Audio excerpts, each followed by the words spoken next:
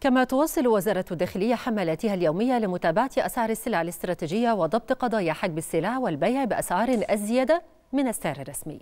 تمكنت جهود الوزارة خلال 24 ساعة من ضبط 472 قضية تموينية بمضبوطات بلغت قرابة 112 طن من المواد الغذائية وغير الغذائية.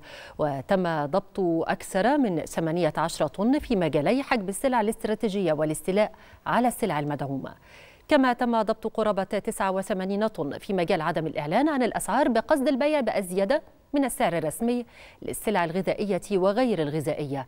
وفيما يتعلق بمجال قضايا المخابز تم ضبط 723 قضية من بينها 138 قضية خبز ناقص للوزن و128 قضية خبز غير مطابق للمواصفات.